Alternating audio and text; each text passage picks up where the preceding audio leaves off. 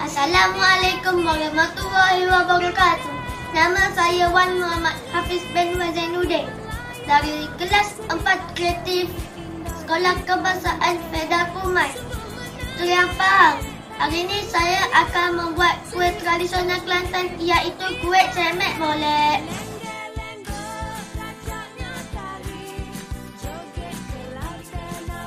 Bahan-bahan untuk membuat kuih cemek molek ialah 3 biji ubi keledek, 2 cawan tepung gandum, 3 sudu besar gula, 2 mangkuk minyak untuk menggoreng, daun pandan untuk menghias.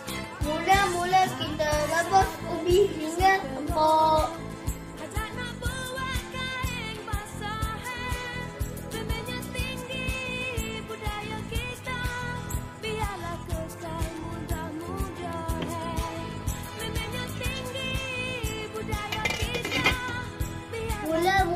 Mula-mula kita tumbuk ubi keledek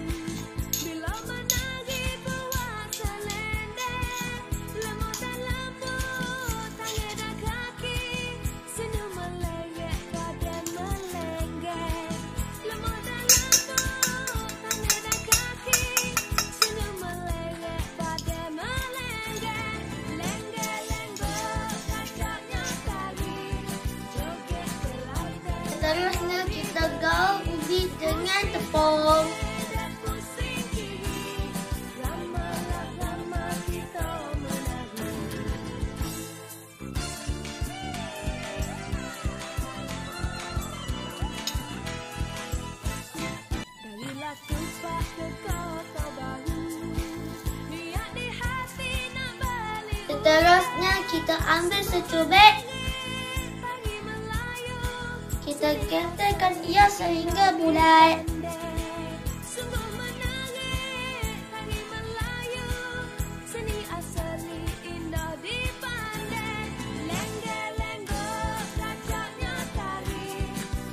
Kita tekan ia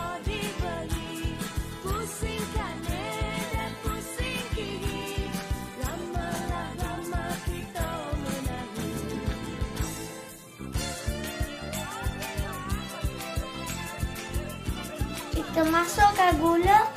Tak kisahlah gula putih atau gula perak.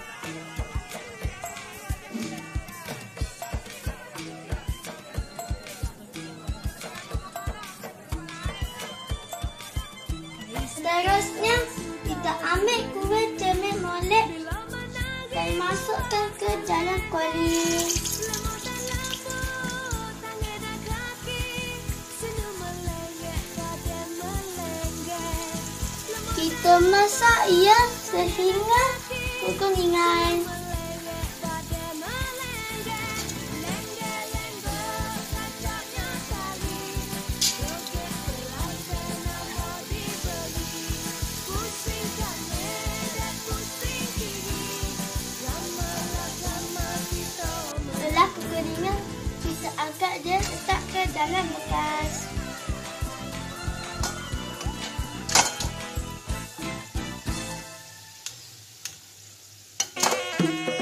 ya kuih tradisional Kelantan iaitu kuih cekmek molek. Darilah tumpah ke kota baru Kuih tradisional Kelantan molek ini manis ya. Kita kena kurangkan manis dalam makanan dan tambahkan manis dalam senyuman.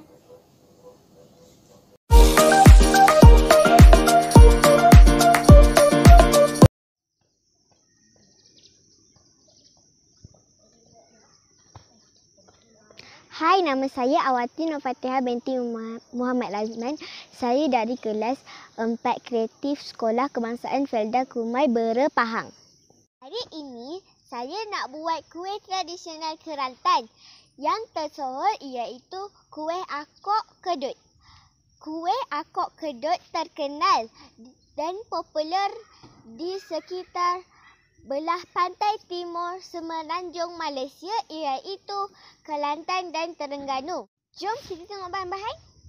Tujuh biji telur, sikit sedikit garam, sikit minyak untuk kita oleskan kepada pembakar, tengah cawan tepung gandum, satu cawan santan pekat, satu cawan nisan yang dah hancur dan ini ialah nisan yang belum hancur dan dua helai daun pandan. Masukkan nisan. Kita masukkan ca- air dalam satu cawan ini. Dan kita akan masukkan daun pandan yang kita telah simpulkan tadi. Baru kita buka api. Kita kena kacau hingga nisan ni hancur. Okey, sediakan blender dan kita akan masukkan air nisan yang dah sejuk ni. Ni dah sejuk tau. Lepas tu kita akan masukkan di dalam blender tapi kita kena tapis dulu macam ni.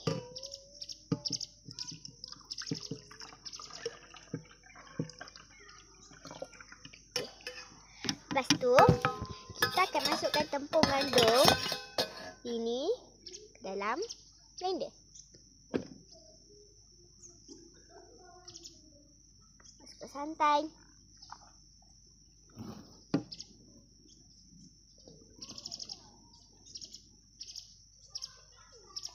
Masukkan sedikit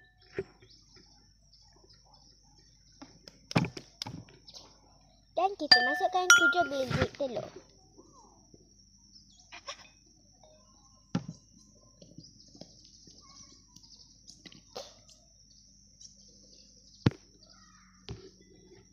Sekarang kita tutup.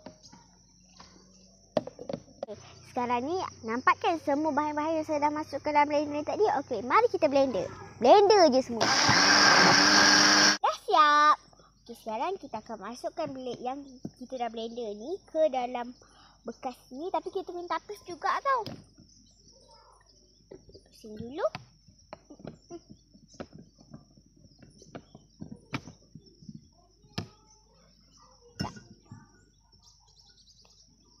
Panaskan pembakar dulu ya. Tapi minyak ni untuk kita oleskan dekat ni, sini. Okey, dah panas kita oleskan minyak.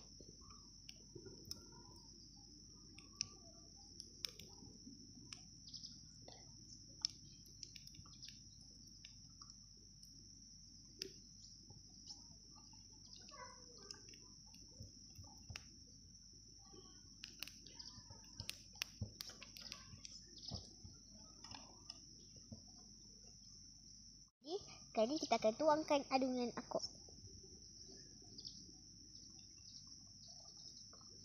Jangan penuh sangat.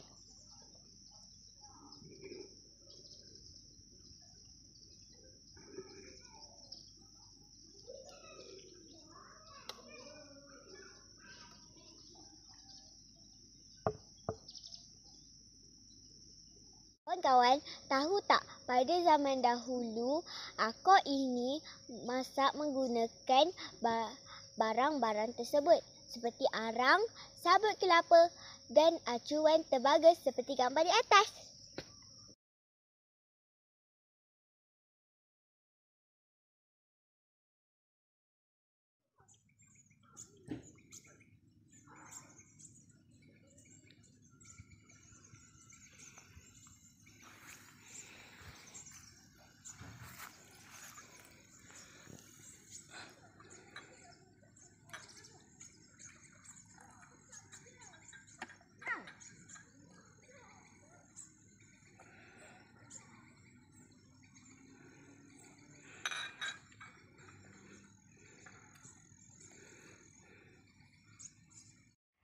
Assalamualaikum, nama saya Hawa Nuzlaika binti Rizwan.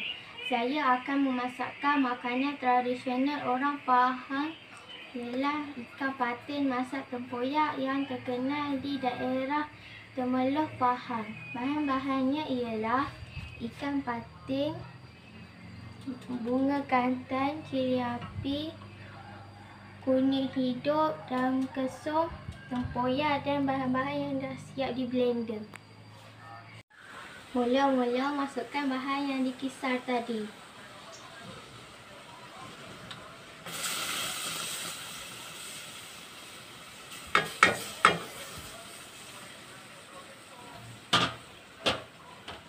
Dan kacau.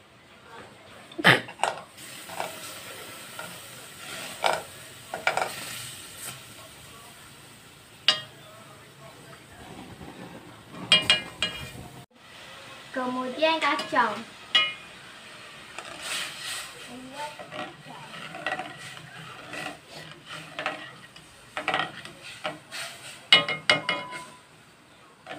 Setelah menggelegak, masukkan ikan.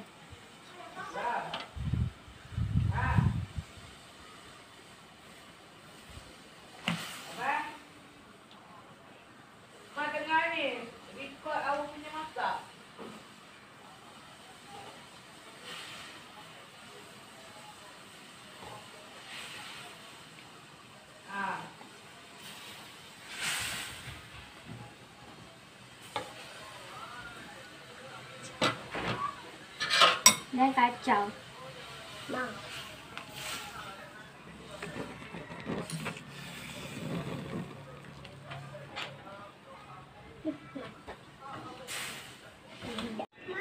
Setelah menggelegak, kita masukkan bunga kantan dan daun kesum.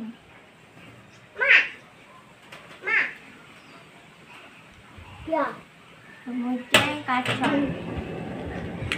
Apa? Siap.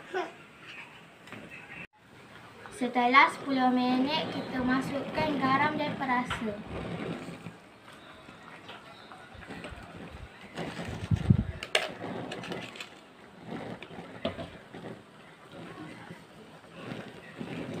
Kemudian kacau.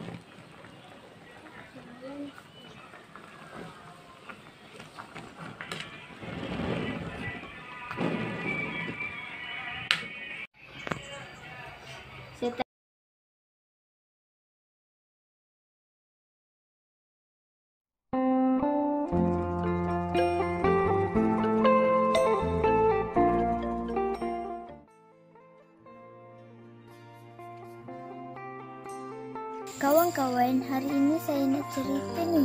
Kawan-kawan tahu tak baju tradisional Iban ni? Kalau tak tahu, marilah sini Afrika nak tunjuk ni.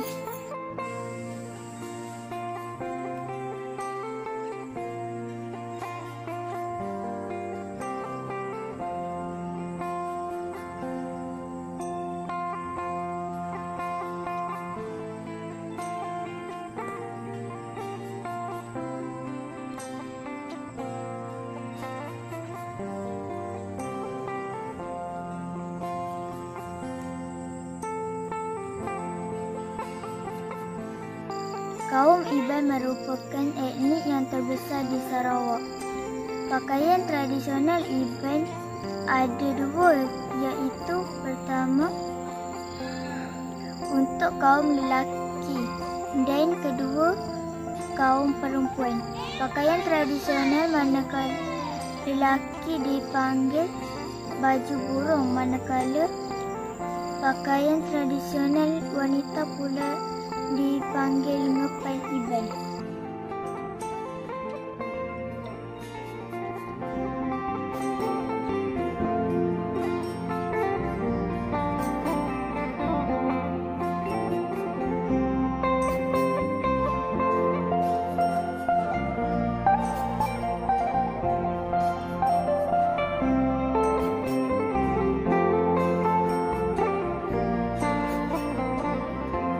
Pakaian tradisional kaum Iban ini dipakai semasa majlis perkahwinan. Selain majlis tersebut, Pakaian itu juga dipakai semasa menyambut kedatangan tetamu atau semasa melakukan tarian ngajat.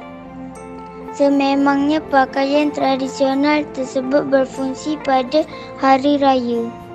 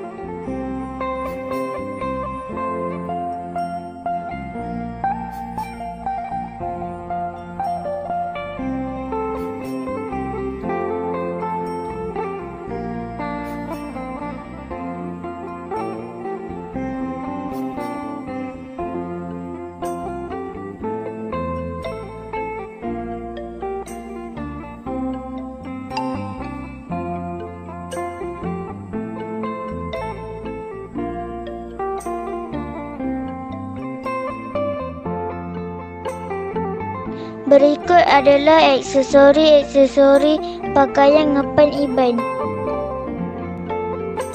Antara aksesori yang digunakan pada ngepen Iban ialah sugu tinggi. Sugu tinggi yang lebih tinggi kebiasaannya digunakan oleh anak gadis. Manakala sugu tinggi yang lebih rendah digunakan oleh kaum wanita yang lebih berusia.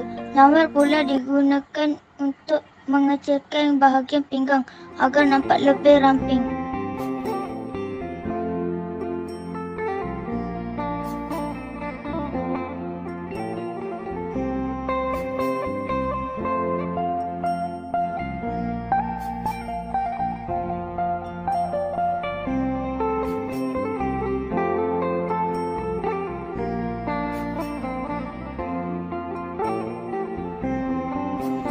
Burung helang terbangnya tinggi hinggap sebentar di pohon jati.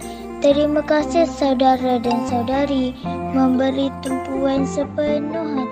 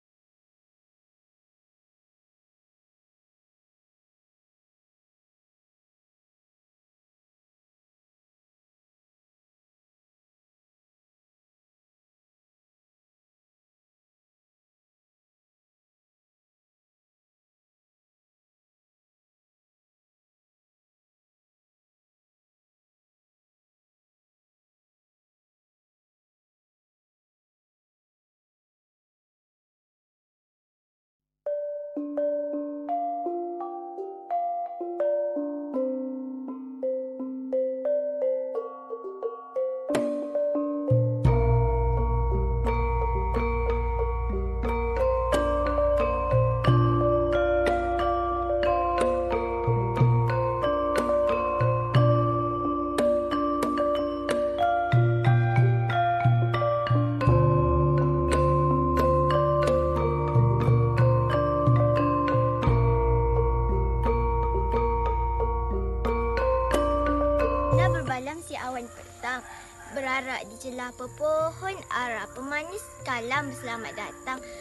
Awal bismillah pembuka bicara. Saya Nurin Iman Syamina binti Muhammad Syafi'i. Saya dari Sekolah Kebahasaan Felda Kumai Bera Pahang Saya memakai pakaian tradisional kurung selempang.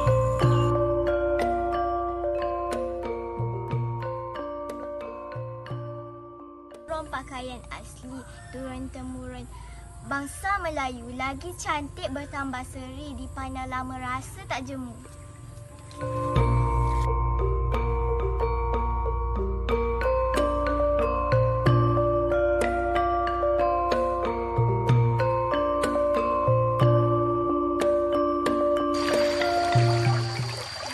kurung, baju Melayu dipakai anggun orang Melayu. Bersama kita pergi ke jeti Tenang melihat suasana desa Kebaya hitam menawan hati Baju Melayu warisan bangsa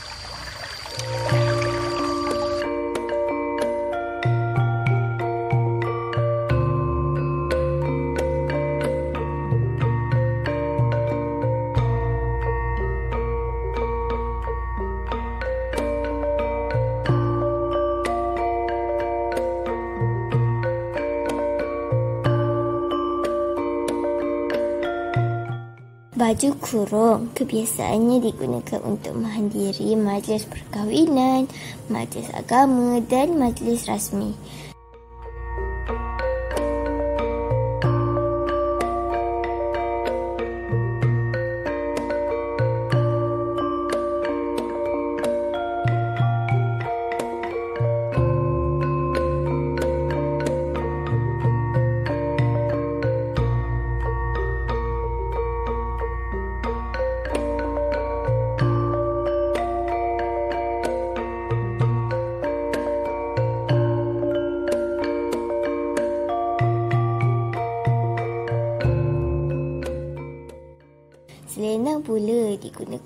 Dijadikan selempang bagi menutup kepala agar kelihatan lebih manis. Selendang yang digunakan adalah dari jenis batik. Batik merujuk kepada kain yang mempunyai corak yang terang dan menarik.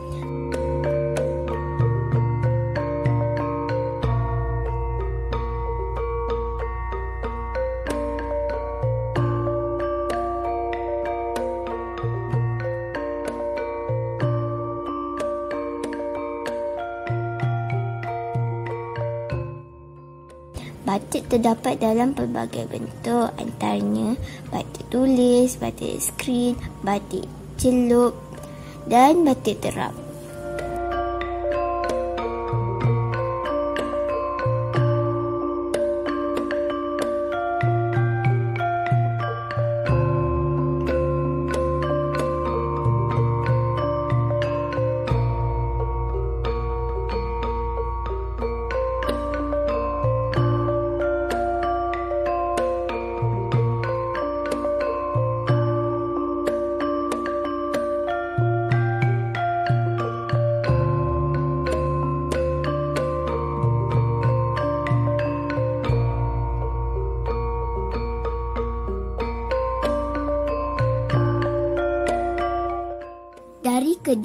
Pekansari, beli suasa di kota tinggi. Selesai sudah tugas diberi, di lain masa bersua lagi. Mada diungkap santun bicara, pantun dilantun, mengusik hati. Salah dan silap tutur bicara, pohon diampun seikhlas hati.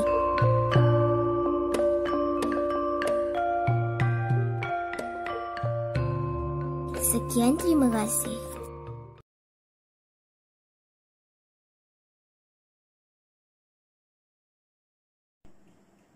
Assalamualaikum. Nama saya Cik Aiman bin Cik Zuiman daripada kelas 6 kreatif. Eh, Saya hari ini saya ingin menceritakan, menceritakan serba sedikit mengenai pakaian tradisional Melayu lelaki iaitu merupakan sejenis kain yang di, yang ditenun dengan mesin tradisional dan mempunyai corak rumit benang emas atau perak. Ini salah satu contoh sam kesongket ia contoh ialah samping yang dibuat daripada songket. Segi sejarah ia ianya dipakai oleh golongan bang, bangsawan, keluarga kebaya diraja dan orang besar negeri. Di belakang saya ada dua contoh pakaian pakaian pakaian tradisional Malaysia iaitu ini pakaian kebaya wanita dan lagi dan lagi satu ini pakaian lelaki baju Melayu lelaki Congkek mempunyai nilai sejarah yang tinggi sebagai fabrik warisan agung.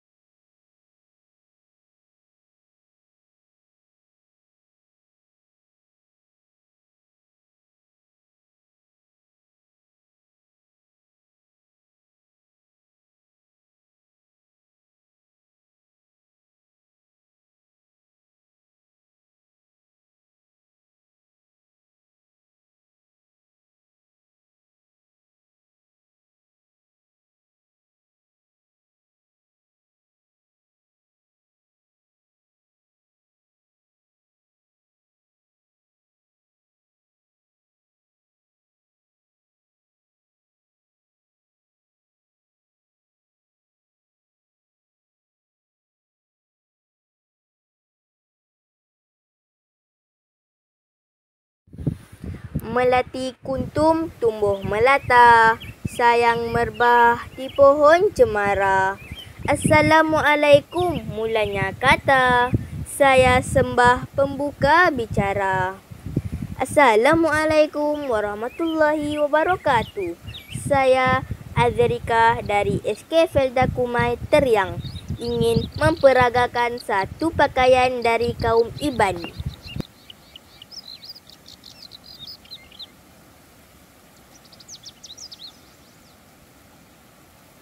Kawan-kawan, hari ni saya nak cerita ni. Kawan-kawan tahu tak mengenai baju tradisional Iban ini? Jom ikut.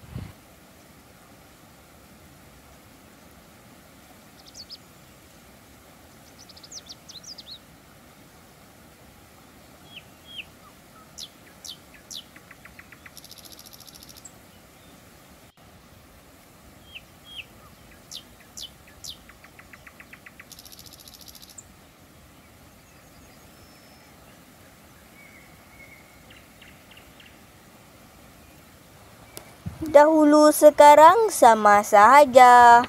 Pahlawan Iban Segak bergaya. Digayakan dalam majlis sahaja. Menentang musuh dipakai juga.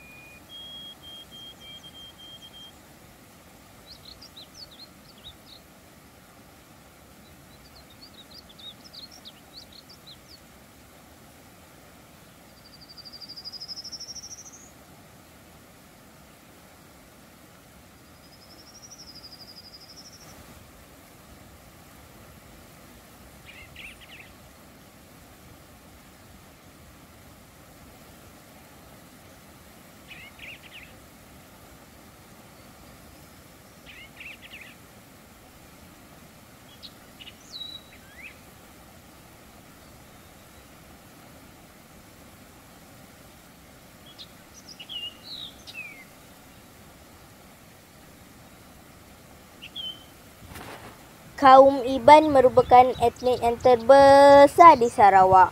Pakaian tradisional Iban ada dua, iaitu pertama untuk kaum lelaki dan kedua kaum wanita. Pakaian tradisional lelaki Iban dipanggil baju burung, manakala pakaian tradisional wanita pula dipanggil ngepan Iban.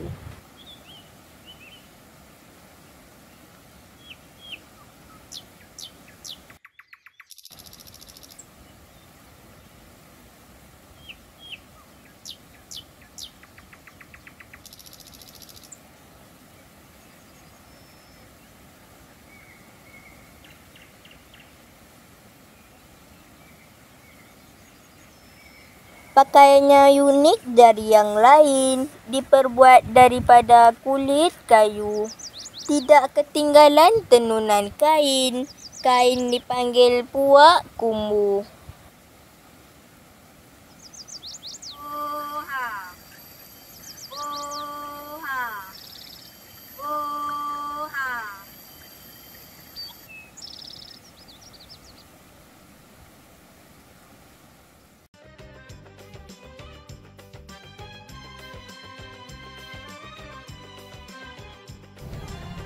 Indah bermalam si awan petang. Berarak di celah pohon ara Pemanis kalam, selamat datang. Awal bismillah pemuka bicara. Assalamualaikum warahmatullahi wabarakatuh. Salam sejahtera dan salam keluarga Malaysia. Hai semua, apa khabar? Saya Nur Kristina Pesara binti Muhammad Azri dari Sekolah Kebangsaan Kedah Kumai. Hari ini saya ingin menceritakan mengenai pakaian tradisional Melayu Jawa. Ha, kawan-kawan, kawan-kawan tahu tak asal usul pakaian tradisional Melayu Jawa ini? Kalau tak tahu, saya nak cerita ni. Mari kita dengar sama-sama.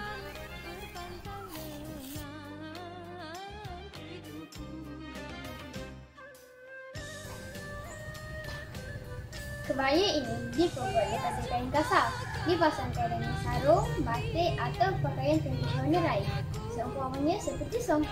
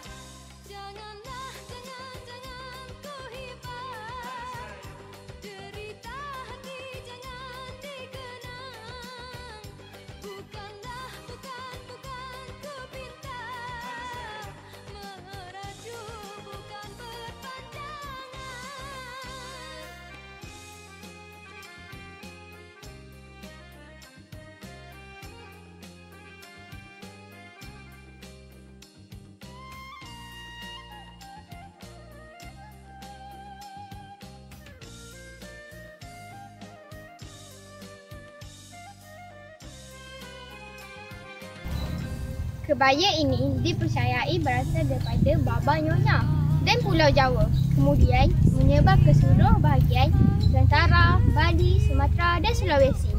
Kebaya ini adalah pakaian khas yang hanya dikenakan oleh kerajaan di Pulau Jawa. Selama penjajahan Belanda di Indonesia, wanita-wanita Eropah mula mengenakan kebaya sebagai pakaian rasmi kerajaan dan masyarakat Jawa.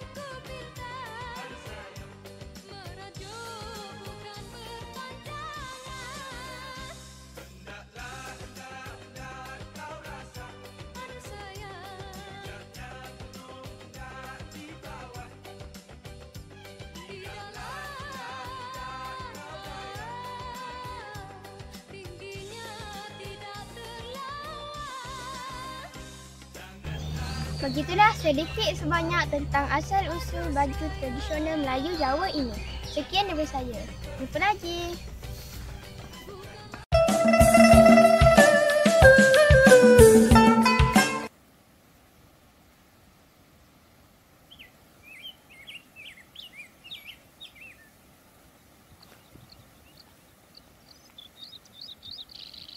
Mencari timba si anak dara di bawah sarang burung tempua.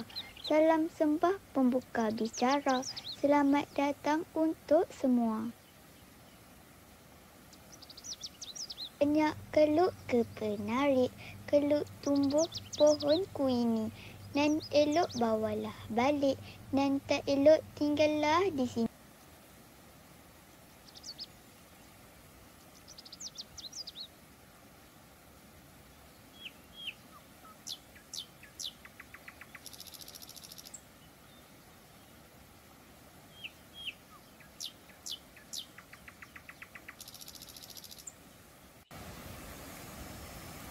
Pohon berangan tempat bertemu Kirangnya rasa si anak dara.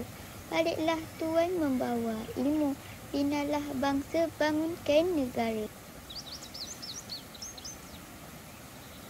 Terdapat tiga kaum terbesar di Malaysia iaitu Melayu, Cina dan India. Kaum Cina merupakan kumpulan etnik kedua terbesar di Malaysia selepas kaum Melayu. Kebanyakannya mereka adalah keturunan pendatang berbangsa Han yang datang ke tanah Melayu. Semasa pemerintah dinasti Ming sekitar abad ke-15, dinasti Qing dan Republik Cina. Dan antara pakaian tradisional Cina bagi perempuan ialah Cheongsam. Pakaian Cheongsam atau baju panjang yang selesa dan anggun juga sering dilihat hingga ke hari ini.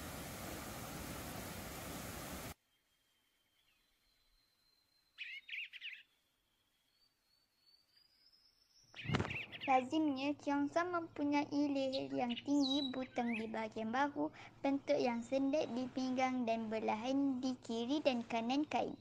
Pakaian ini selalunya diperbuat daripada kain sutera, satin dan lain-lain jenis kain lembut.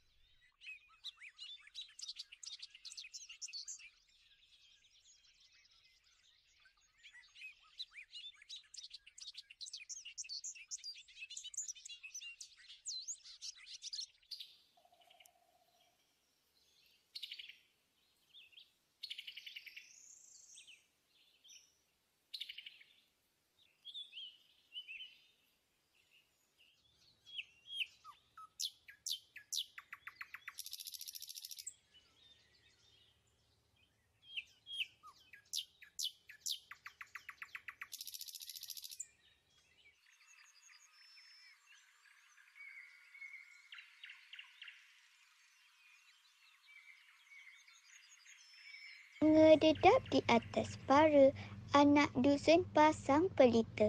Kalau tersilap tutur bicara, jemari disusun maaf dipinta. Di atas dahan burung tempua, melihat rusa tepi perigi. Salam perpisahan untuk semua, di lain masa bersua lagi.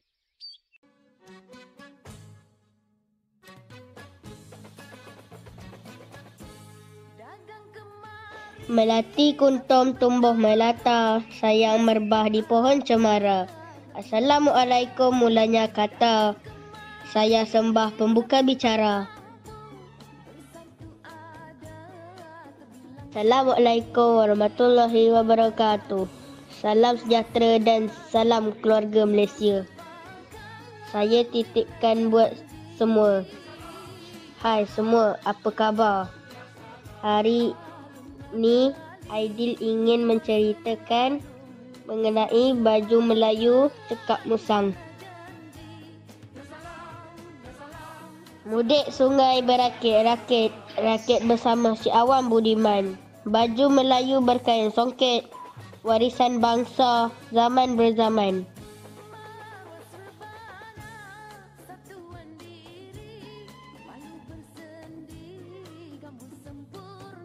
Kawan-kawan, kawan-kawan tahu tak asal sebaju Melayu cekak musang ni? Kalau tak tahu, Aidil nak cerita ni.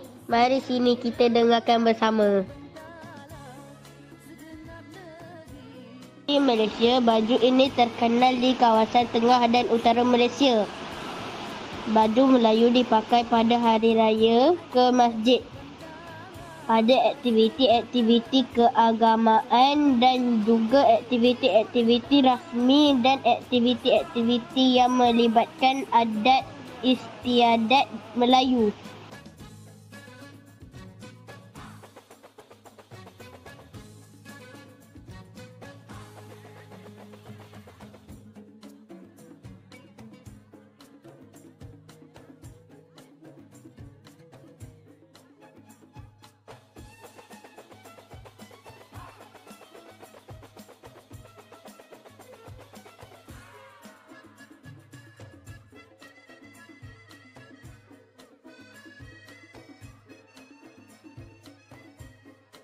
Leher baju Melayu berbentuk seperti leher baju India dan bertindan di bahagian butang.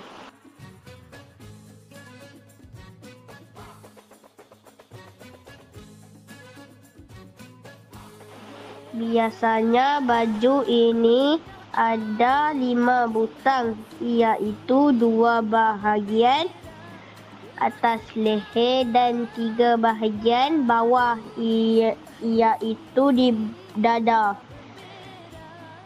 Di sesetengah kawasan baju ini menggunakan tiga butang sahaja di bahagian dada.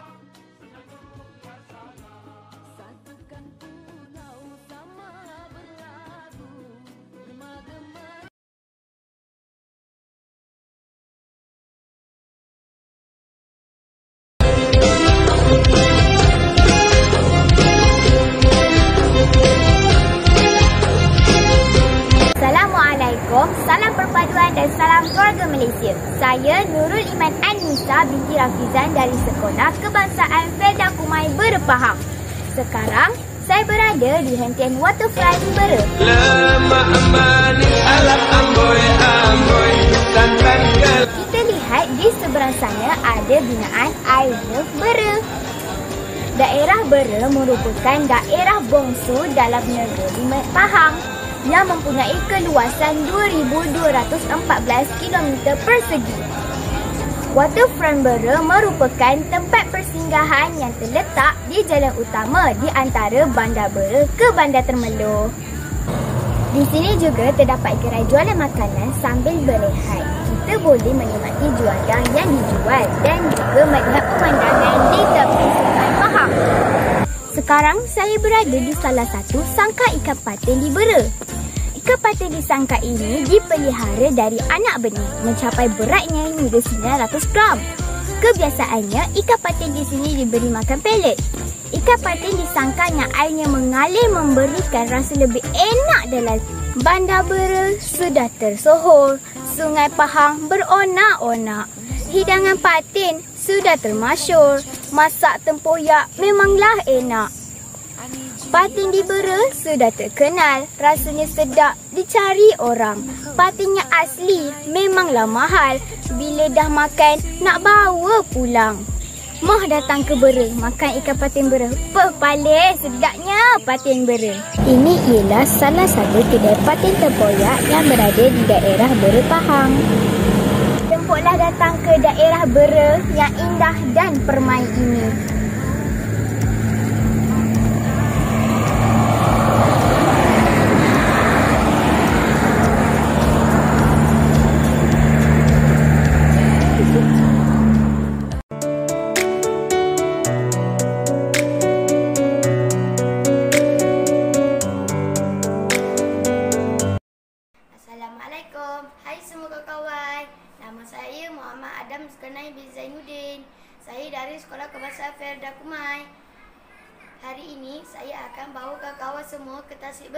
Jom. Tasik Bera merupakan tasik air tawar yang terbesar di Malaysia dan terletak di tengah-tengah kawasan Tanah Pamah di Semenanjung Malaysia di bahagian tenggara di bahagian tenggara Pahang. Pelbagai aktiviti yang berkonsepkan alam semula jadi yang disediakan oleh pihak perhiritan di mana eh, di sini seperti meredah hujan, eh, meredah, meredah hutan, kemahiran menggunakan kompas, memerhati burung dan kehidupan liar juga boleh menyusul tasik dan sungai dengan menaiki bot melawat taman herba dan aktiviti berkayak. Seronok kawan-kawan. Pekan yang paling hampir dengan tasik bera ialah bandar, tri, bandar bera, triang dan kemayan. Spesies kehidupan liar yang terancam seperti harimau, topi dan ikan kelisa ada terdapat di sini. Tumbuhan keladi paya merupakan satu-satunya spesies endemik di Tasik Bera. Bagi aktiviti perkemahan, pihak perhiritan turut menyediakan tapak perkemahan yang boleh memuatkan kira-kira 80 orang peserta pada satu-satu masa. Pelbagai kemudahan yang disediakan oleh pihak perhiritan seperti 20 tapak perkemahan, chalet, tandas, astaka, ruang makan dan ruang memasak. Ruang masak, menara tinjau serta ta, serta bot untuk menyusuri Tasik Bera. Biodiversiti yang terdapat di Tasik Bera termasuk 374 spesies tumbuhan, lebih daripada 94 spesies ikan, 67 spesies mamalia, 230 spesies burung, 22 spesies serangga dan 33 spesies berpatung. Itulah istimewanya Tasik Bera ini. Tasik Bera mempunyai sistem penapisan air yang semula jadi kerana terdapatnya tumbuhan keracut dan resau. Tasik ini juga mengawal banjir dan limpahan air ia dikelilingi oleh pokok yang kaya dengan karbon.